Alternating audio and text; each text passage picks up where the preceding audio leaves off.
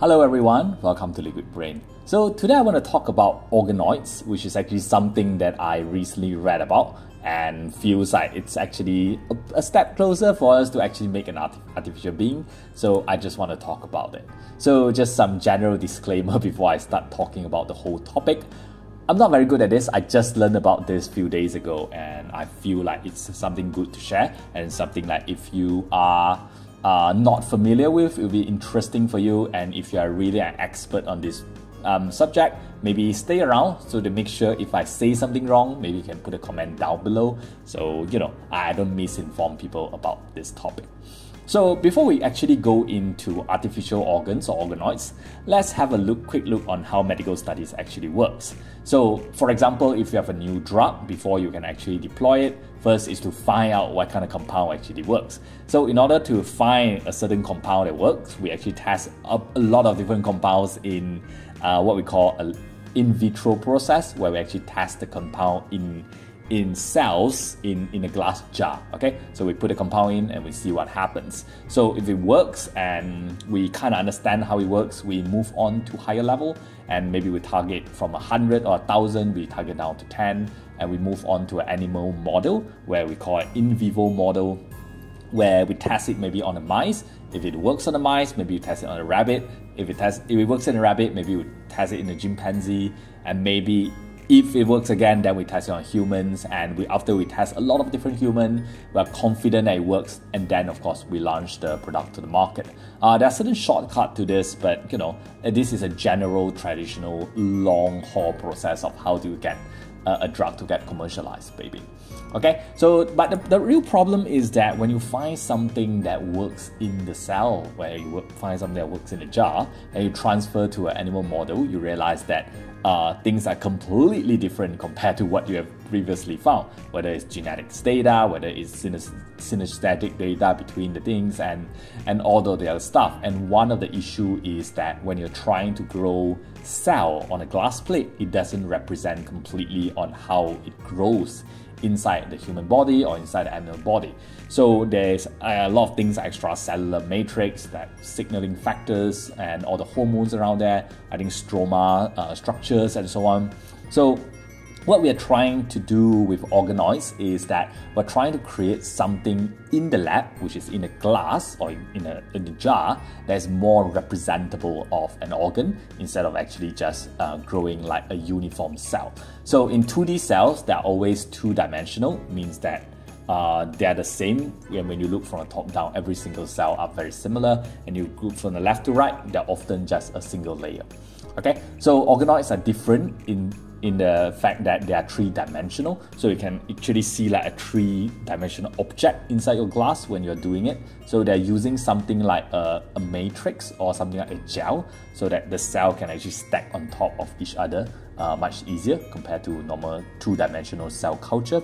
Okay, uh, inside the the jar that you have, organoids often also contain different cell types uh, that can actually perform different functions, and maybe they have to work together to actually uh, do a certain things, which is why they are they're different from normal cell culture in that way, and this is actually more representable of how tissue functions or how cell function in their novel environment, where we actually have a um, they, actually do what they're supposed to do instead of trying to adapt to the culture or the artificial culture that you give to them.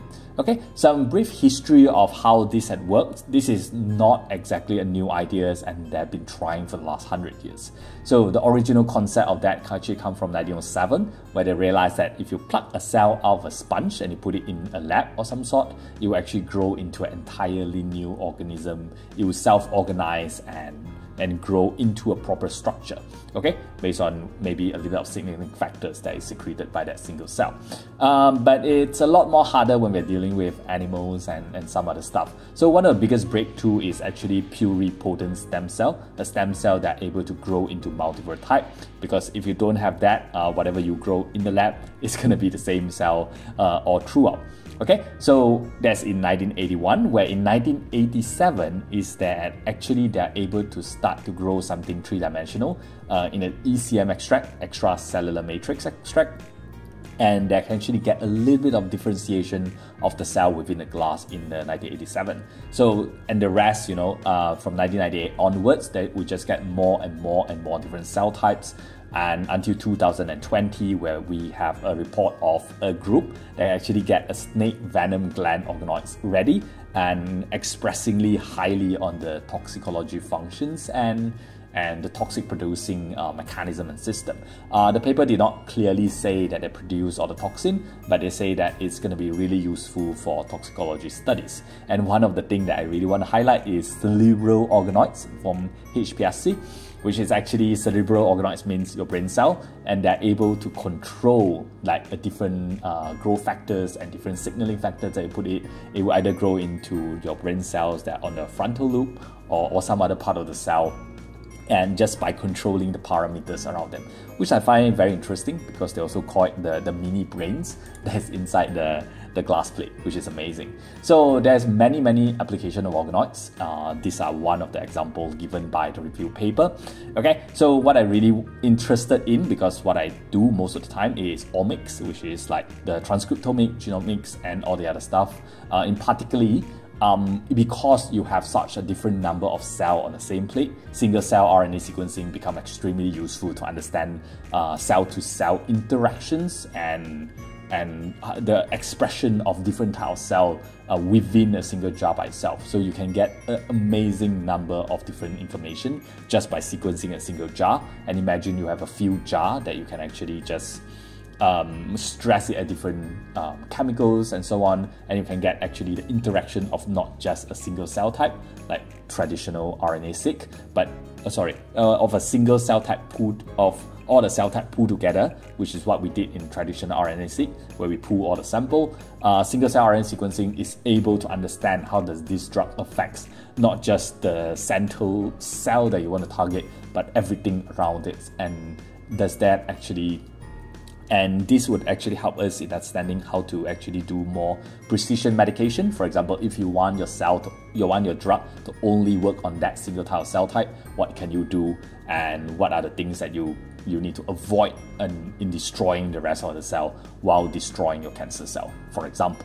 So one of the other things they talk about is actually to, to look for potential stem cell or cancer cell because they're kind of the same in some way. So uh, how can we look at the organoids and understand the, the development of it and maybe we can understand uh, for example, disease modeling is one of them as well. How does them, how do abnormal um, like a small organ develop into a cancer? What are the cell responsible for it? What are the expression that that actually result in such such an initiation of cancer development and so on and so forth. Uh, some other one is like regenerate, regenerative medication, uh, medicine, where we actually try to regrow uh, a little organ and we can actually study it so that we can either reimplant them into your body or we can actually grow something new to you by using some other people's cells and so on and so forth. I think the last one I want to talk about is um, drug discovery. Yeah, something like uh, I think it's precision medication. So precision medicine, where for example, if you have a serious disease, we can actually take one of your cancer cell out, uh, grow it as an organoid, and then test multiple different drugs onto the organoids and see how that organoid responses, and we can understand actually how to best treat your cancer using the combination of drug that we have instead of using a conventional um, one one thing kills everyone method, and we can really give you only the drug uh, con- drug concentration, a drug type that really fits you and you only, and so on. And there's there's a multiple different things that we can do which I'm, I think I'm not qualified to talk too much in. Uh, okay, so that's which I will switch on to uh, the comparison of multiple things that kind of resemble organoids, but not really. So the the, the paper actually put uh, this four, which is the 2D cells line, which is cell lines, which is the normal cell line that I talk about, I think, on on the last five minutes and so on, where you grow a single type cell type into a glass jar. So they are just uniform, they're the same, and they're everywhere. Okay, so the second will be the um, organoid that we'll talk about here. So we sometimes call them uh, 3D patient-derived organoid because they're three-dimensional and we took the organoid out from the patients. Okay, so there, there can be multiple origins, but this is one of the examples that is given in the paper. So so yeah, you take a cell or you take multiple cells from the from the patients and you grow it as an organoid. So the next one is actually patient-derived xenograft, which is you take the whole um, a sub organ or something like that, a part of the a part of the cell from the patient, and you actually graft it onto a immunosuppressed mice. For example, you can see a heart cell uh, attached to a mouse here. So the mice is actually maintaining the the, the sub organ that is that you actually taken out from the patient previously and you can actually do modeling on that mice. And the last one will be genetically engineered mouse model, either through knockout gene, introduction of gene, editing of gene, and so on and so forth. So in terms of cost, I would say, um, not I say, the paper say, 2D cell line is tra traditionally the cheapest, with 3D patient-derived organoid slightly higher, and patient-derived xenograft uh, even higher. So for mouse model, uh, I believe it is also high, but they do not say yeah it's also high, but it's it's it's it's, it's actually quite a different thing compared to the rest. Where one two three is actually doing on human cell, and mouse model is doing on mouse cell. Okay, but it's also significantly more expensive compared to the other type of uh, 2D cell line, for example. Okay, uh, but the thing is that on the 2D cells cell line most of the time do not represent the original environment with 3D or 3D uh, organoid slightly more and patient derived xenograft a little bit more again and I think I spelled derived uh, wrongly. I'll fix it before I attach to the slide so when you download it's correct. So don't kill me on that. Okay, so uh, 2D will be least representable of the real environment where the cell actually grow with organoid slightly better and patient derived xenograft uh, even better. Um, but of course, with the xenograft, you're actually planting in the mice, so we're not too sure how much interaction and how much impact the, the mouse metabolism is going to have. And for genetically engineered mouse model, we don't usually compare to the other three because again, we are we're doing a completely different thing uh, on this on this uh, on this mouse again. So they don't represent the same type of research methodology, I would say. I think the last one will be scalability, where uh, 2D cell line incredibly easy to, to scale, where you can just send a tube from to the other country and they can restart their whole lab based on the single tube that you send. Uh, the other two, not that easy, especially patient derived, where you actually have to take the take the organs from the patients and you know uh, try to graft it in. There's a lot of surgical procedure involved, and you know there's a lot of protocol mismatch where different people do it different way and we don't know if one works for another or not okay? So same with patient derived xenograft. It's more like a surgery rather than a research method. So it's also really dependent on the people that run the experiment. And genetically engineered mouse model completely unscalable. You have to do it yourself and you have to do it one by one. We can't uh, most of the genetically engineered mouse I don't think they can reproduce, and if they can reproduce, I don't think we want them to. So they're not scalable at all. And last one for uh, personalized personalized medicine. I talked about precision medicine just now. It is possible to take a cell from the patient and graft it as an organoid or as a xenograft and actually study it um, outside of the owner, outside of the donor, and see if we can actually detail or tailor make a certain drug for them. Uh, but 2D cell line, very difficult because most of the time when you take things out of the cell, uh, you lost a lot of cell functionality. They don't have a stroma environment, and it's really difficult to know exactly what will happen if we actually test the kind of uh, the drug that works on the cell line and it might not work, works on a human and so on. And for the last one is genetically engineered mouse model. Most of the time we're not looking at let's say a single person but rather we're looking at a single gene or a single drug type or single interaction or single pathway. So uh, the last one is mouse model not really applicable for personalized medicine and so on okay so there's some comparison so how do we go forward with this organoid technology so the first thing is to connect basic research and precision medication uh, medicine so what the owner wants to happen is that they don't want um, Okay, I, I'm paraphrasing here, I'm not sure that's what they want, but is what I read in the article. So they want to connect basic research and precision medication. So they don't want basic research to do all the way on whatever they want, and most of the time they're not applicable on the back end. So they're trying to bring the two closer together. So what we're doing in research can be more applicable in the clinical sense in a much faster or much uh, in a much faster way and much more directly linked to one of another. So maybe within like uh, a year or two years, we're able to bring things to market.